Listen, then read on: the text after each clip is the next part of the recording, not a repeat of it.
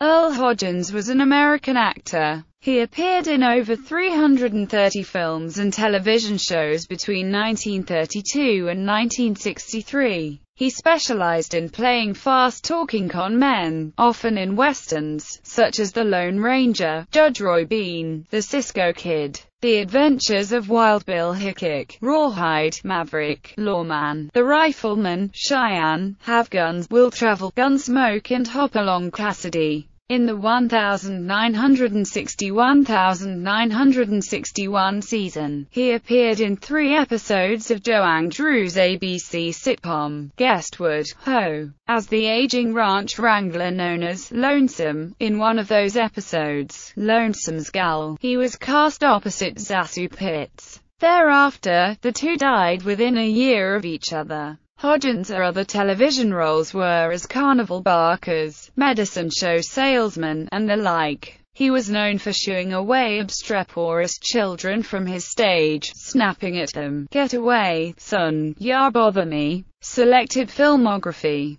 Paradise Canyon, Aces and Eights, Oh, Susanna, Border Caballero, I Cover the War, Range Defenders, Heroes of the Alamo, A Lawman is Born, Roundup Time in Texas, The Purple Vigilantes, The Old Barn Dance, Barefoot Boy, Call the Mesquiteers, Long Shot, Law and Order, Under Texas Skies, Scattergood Baines, Red River Robin Hood, The Bashful Bachelor, Inside the Law, Mystery of the Riverboat, The San Antonio Kid, Gunsmoke, Unexpected Guest, Jigs and Maggie in Jackpot Jitters, Up in Smoke,